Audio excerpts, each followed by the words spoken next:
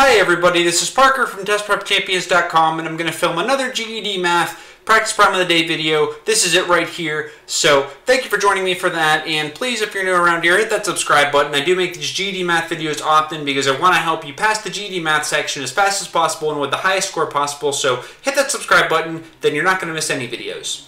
Okay, so you guys know the drill. Please pause the video, try it out on your own first, then we'll go over it.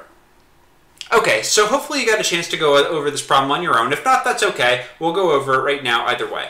So the first thing that I want to do is let's label the rectangle here. So we want to find the area and perimeter of the rectangle. So first, we want to be mindful of the lengths of the different sides. Okay, so I'm going to draw one slash here, and I'm going to draw one slash down here on this side because these two sides are going to be equal in length.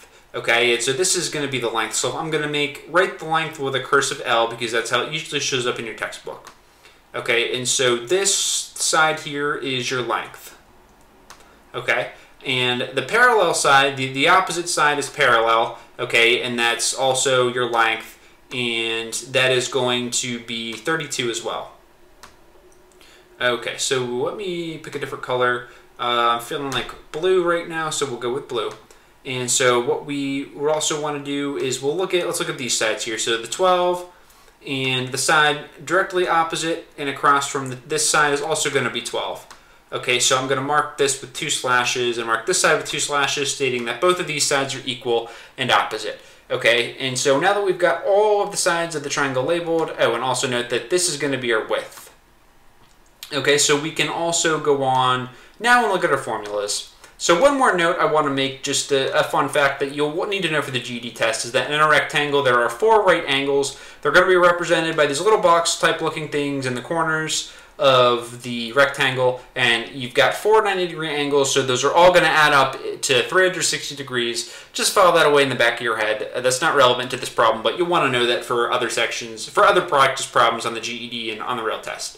So let's look at the formulas here. So I'm going to write the formula for area. So I'm just going to abbreviate it with an A. So the formula for area of a rectangle is length times width.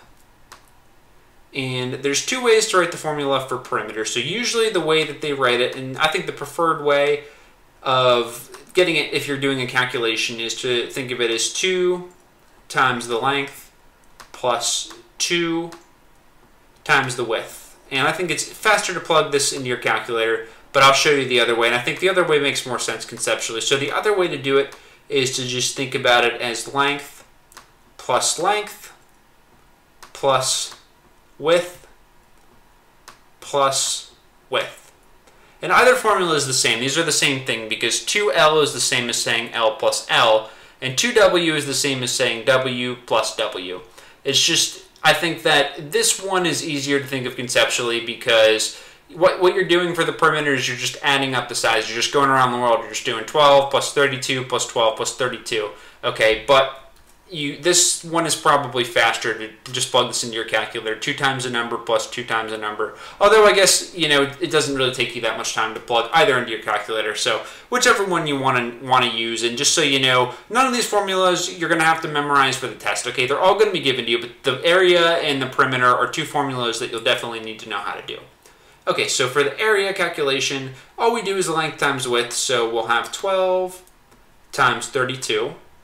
Okay, and you can just simply plug this into your calculator, and that's going to give us 384. And I know that because I did this before I did the problem.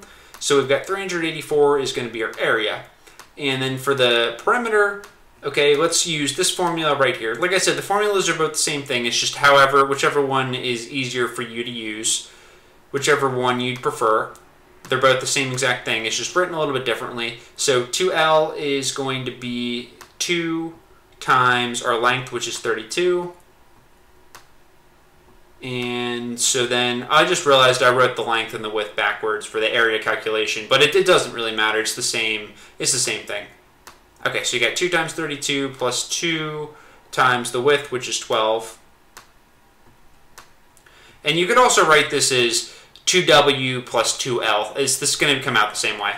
And so in this case, what we have is, let's see, 2 times 32 gives us 64. Okay, and then plus 24, right? Because 2 times 12 is 24. And so that's going to be 4 plus 4 is 8. 6 plus 2 is 8, so 88. So we have an area of 384 and we've got a perimeter of 88. So A is going to be the correct answer. So hopefully this makes sense to you and hopefully this video was helpful for you. This question came right out of my book, The GED Math Champions Guide. I have a 50 problem free sample with the solutions that are going to tell you how to do this question and all kinds of other questions. Uh, very in-depth, so you'll want to check that out. The link's down below. Thanks for watching again. Please hit the subscribe button. Please give me a, a thumbs up. Please give me some feedback. Let me know if you like this video, if you hated it. What can I do differently to make this more entertaining more interesting, more informative for you? Let me know. I'm Parker from TestPrepChampions.com. Good luck with your tests. Let me know how you do.